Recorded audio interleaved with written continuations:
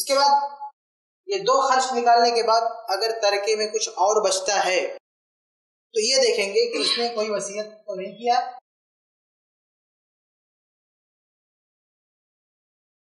वसीयत की तनफी।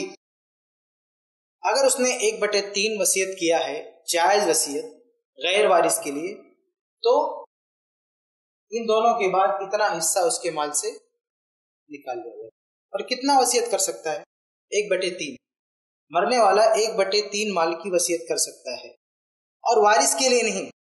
जैसे उसके बेटे हैं, बेटी है, ये लोग तो उसके माल में वारिस है, हिस्सा पाएँगे। ऐसे लोगों के लिए वसीयत नहीं कर सकते।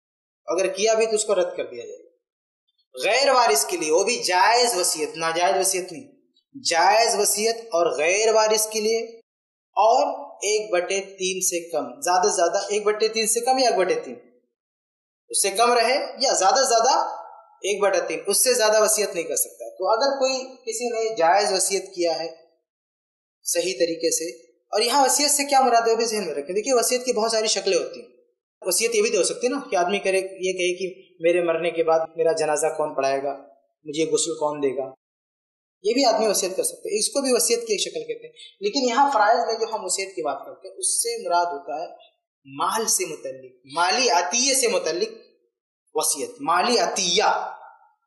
यानी किसी को माल देना है, उसके तरके में से कुछ माल किसी को देना है, इससे जुड़ी हुई वसीयत।